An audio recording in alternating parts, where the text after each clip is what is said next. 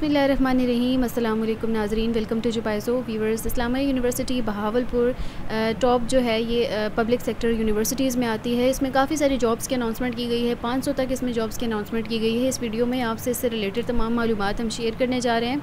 Video शुरू करने से पहले आपसे गुजारिश है कि हमारे चैनल जुबाइज़ो को ज़रूर सब्सक्राइब करें और इसके अलावा लाइक शेयर और कमेंट कर दिया करें। ये आपकी तरफ़ से इंकरेजमेंट होती है। व्यूअर्स वीडियो शुरू करते हैं। सबसे पहले आप आ जाएँगे गूगल पर और वहाँ पे कुछ इस तरह से टाइप करेंगे जोबाइज़ो सर्च बटन पे क्लिक करेंगे तो आपके सामने ये जो पहला लिंक शो हो रहा है, आप इस पर क्लिक करेंगे तो ये जो वेबसाइट है, कुछ इस तरह से आपके सामने ओपन हो जाएगी। आप इसको नीचे की तरफ़ स्क्रोल करेंगे तो यहाँ पर आपको ये पोस्ट जो है ये नज़र आएगी।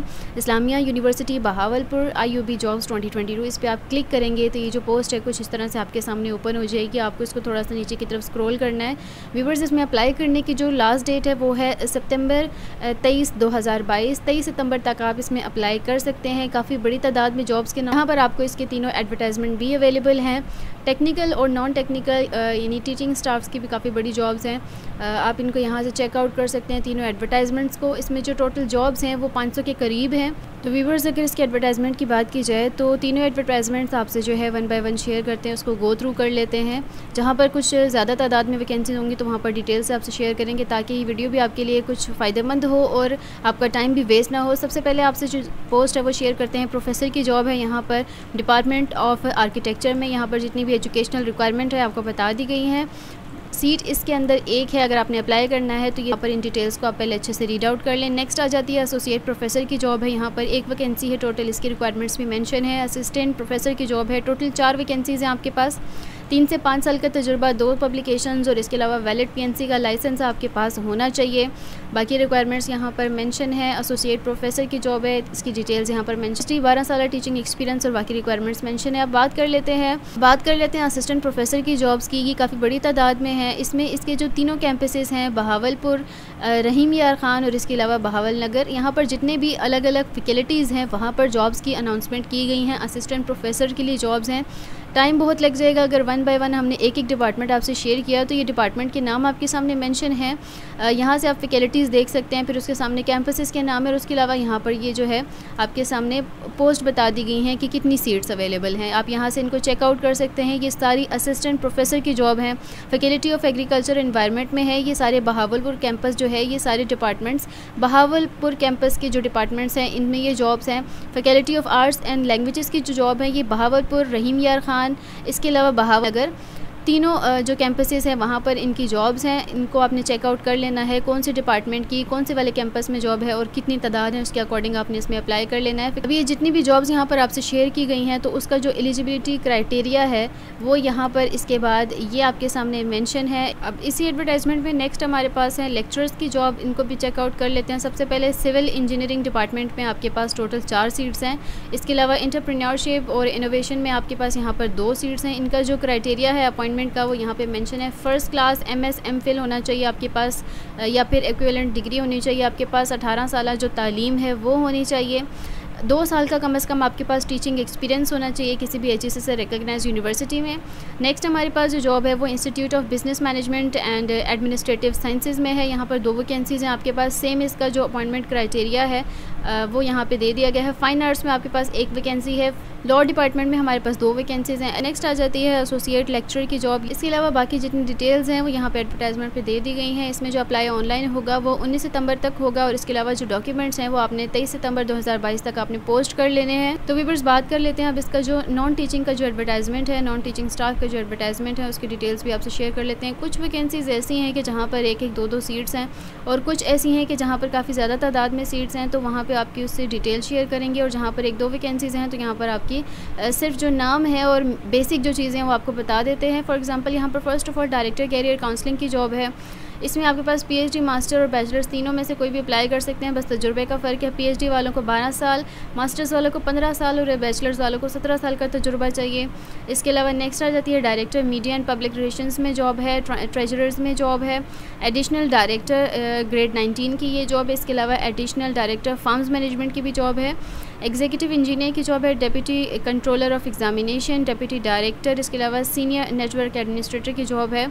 मास्टर्स और बैचलर्स वाले इसमें अप्लाई कर सकते हैं। डिप्टी डायरेक्टर स्पोर्ट्स में जॉब है। सीनियर प्रोक्योरमेंट ऑफिसर की जॉब है। यहाँ पर टोटल एक वैकेंसी है डिप्टी डायरेक्टर की जॉब है। नेक्स्ट आ जाती है हमारे पास असिस्टेंट डायरेक्टर की job assistant controller of examination यहाँ पर आपके पास टोटल जो वैकेंसीज़ हैं, सात वैकेंसीज़ हैं आपके पास। यहाँ पर जो एजुकेशन रिक्वायर्ड है आपको, वो मास्टर्स डिग्री होनी चाहिए आपके पास। या अगर आपके पास मास्टर्स नहीं है तो बैचलर्स डिग्री के साथ आप इसमें अप्लाई कर सकते हैं, लेकिन आपके पास जो कम अज़ कम दो साल का जो है वो तजुर्बा होना चाहिए रेलिवेंट प्रोफेशन के अंदर। नेक्स्ट आ जाती है हमारे पास असिस्टेंट ट्रेजरर्स की जॉब है। इसमें मास्टर्स डिग्री वाले अप्लाई कर सकते हैं और इसमें जो टोटल वैकेंसीज़ हैं, वो आपके पास हैं। टोटल पाँच वैकेंसीज़ बहावलपुर कैंपस में हैं और इसके अलावा रहीम यार खान कैंपस में आपके पास एक वैकेंसी है। नेक्स्ट हमारे पास है वेटरनेरियन की जॉब है, इसके अलावा प्रोक्रोमेंट ऑफिसर ग्रेड 17 की ये जॉब है असिस्टेंट मैनेजर स्टोर की भी जॉब है, यहाँ पर असिस्टेंट डायरेक्टर स्पोर्ट्स की जॉब है टोटल दो वैकेंसीज़ हैं यहाँ पर। असिस्टेंट लाइब्रेरियन की जॉब है, इसमें भी दो वैकेंसीज़ हैं लेबॉर्ट्री इंजीनियर की जॉब है, दो वैकेंसीज़ हैं आपके पास एडमिनिस्ट्रेटिव ऑफिसर की जॉब है। ग्रेड सेवेंटीन है, बहावलपुर कैंपस में ये जॉब है, बैचलर्स डिग्री वाले इसमें अप्लाई कर सकते हैं, सेकेंड डिवीज़न के साथ, सोलह साल तालीम अगर आपके पास है तो दो साल का तजुर्बा, और अगर आपके पास जो है वो चौदह साल तालीम है तो आपको पाँच साल का तजुर्बा चाहिए इसमें अप्लाई करने के लिए, इसमें टोटल आपके पास दस वैकेंसीज़ हैं। पर्सनल असिस्टेंट की जॉब है टोटल दो वैकेंसीज़ हैं। इसके अलावा असिस्टेंट इंजीनियर की जॉब है, दो वैकेंसीज़ हैं। फिजियोथेरेपिस्ट की जॉब है डाटा एनालिस्ट की जॉब है सीनियर प्रोड्यूसर की जॉब है। इसके अलावा ट्रांसलेटर प्रोड्यूसर लैब और आईटी असिस्टेंट की भी जॉब है। आईटी असिस्टेंट की जॉब का ग्रेड सिक्सटीन है। बहावलपुर कैंपस में ये जॉब है। बैचलर्स डिग्री वाले इसमें अप्लाई कर सकते हैं। सोलह साल तालीम आपके पास होनी चाहिए और आपको इंग्लिश लिखना और बोलना अच्छे से आना चाहिए। इसके अलावा प्रेफर किया जाएगा उन कैंडिडेट्स को कि जिनके पास जो है सर्टिफिकेट या स्किल्स होने चाहिए डिजिटल कंटेंट क्रिएशन के अंदर। कार्टोग्राफर की जॉब है ग्रेड सेवनटीन है इसका। नेक्स्ट हमारे पास है assistant procurement officer Bahawalpur Rahim Yar Khan और बहावल नगर तीनों कैंपसेस में यहाँ पर जॉब है। अकाउंट्स ऑफिसर की जॉब है। यहाँ पर बहावलपुर कैंपस में इसकी टोटल नौ वैकेंसीज हैं। बैचलर्स डिग्री वाले इसमें अप्लाई कर सकते हैं। अगर आप बहावलपुर कैंपस में करें तो नौ सीटें हैं आपके पास। अगर रहीम यार खान कैंपस में करें तो टोटल दो वैकेंसीज हैं आपके पास। कोच की जॉब है, यहाँ पर ये मेल की जॉब है, बाकी रिक्वायरमेंट्स भी बता दी गई हैं। दो वैकेंसीज़ हैं गेम सुपरवाइज़र की जॉब है, चार वैकेंसीज़ हैं आपके पास बैचलर्स डिग्री वाले इसमें अप्लाई कर सकते हैं। इंटरमीडिएट वाले भी और मैट्रिक वाले भी। टेलोवर की जॉब है यहाँ पर जूनियर इमाम कम खतीब की भी जॉब है। बहावलपुर कैंपस में तीन वैकेंसीज खाली हैं। कि जो एजुकेशनल रिक्वायरमेंट आप यहाँ से रीड आउट कर सकते हैं इजीली असिस्टेंट वार्डन की यहाँ पर जॉब है हमारे पास। इसमें टोटल आपके पास छः वैकेंसीज़ हैं। ये फ़ीमेल्स की जॉब है। इसका जो आपका ग्रेड है, वो सोलह ग्रेड है। और बहावलपुर कैंपस में ये जॉब है। बैचलर्स डिग्री आपके पास होनी चाहिए। सेकेंड डिवीज़न के साथ सोलह साल तलीम और एक साल का तजुर्बा आपके पास होना चाहिए। बैचलर्स डिग्री आपके पास है और चौदह साल तलीम है तो आपको जो तजुर्बा दरकार है, वो है पाँच साल। सब इंजीनियर वन की जॉब है, इलेक्ट्रिकल या इलेक्ट्रॉनिक्स के अंदर, फोटोग्राफर की जॉब है, यहाँ पर आपके पास सुपरवाइज़र की है, ट्रांसपोर्ट सुपरवाइज़र की है, सीनियर अकाउंटेंट की यहाँ पर आपके पास जॉब है, स्टोर कीपर की जॉब है, इसके अलावा अकाउंट्स असिस्टेंट वन की जॉब है, बहावलपुर, रहीम यार खान दोनों कैंपस के अंदर।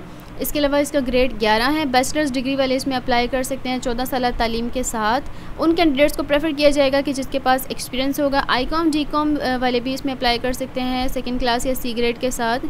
कम अज़ कम दो साल का आपके पास प्रोफेशनल एक्सपीरियंस होना चाहिए। अगर आप बहावलपुर कैंपस में कर रहे हैं तो दस सीट्स हैं आपके पास। या रहीम यार खान में करेंगे तो आपके पास दो सीट्स हैं। अब यहाँ पर जॉब की बात करते हैं। जूनियर क्लर्स की जॉब है।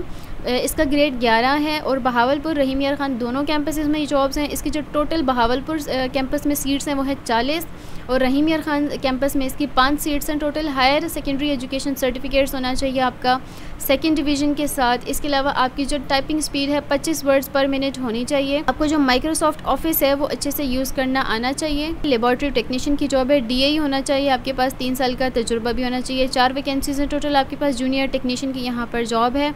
आपके पास इसकी बहावलपुर कैंपस में पाँच वैकेंसीज़ हैं और रहीम यार खान कैंपस में टोटल एक वैकेंसीज़ हैं। मैट्रिक वाले इसमें अप्लाई कर सकते हैं। यहाँ पर बात कर लेते हैं वेटर्निटी असिस्टेंट की जॉब है। इसके अलावा मौजन कम खादिम की जॉब है, ग्रेड नौ है इसका। टोटल तीन वैकेंसीज़ हैं, हाफिज़ कुरान होना चाहिए आपको। इसके अलावा बहावलपुर कैंपस में ये जॉब है, सिक्योरिटी सुपरवाइज़र की एक जॉब। एसी मैकेनिक की, लाइन मैन की टोटल दो जॉब्स हैं, ग्राउंड मेकर की जॉब्स हैं, इलेक्ट्रिशियन की जॉब्स हैं, टोटल चार बहावलपुर कैंपस में। बहावल नगर में एक और रहीमिया खान में एक जॉब है। गार्डनर यानी माली की जॉब्स हैं, बहावलपुर कैंपस में दो सीट्स हैं।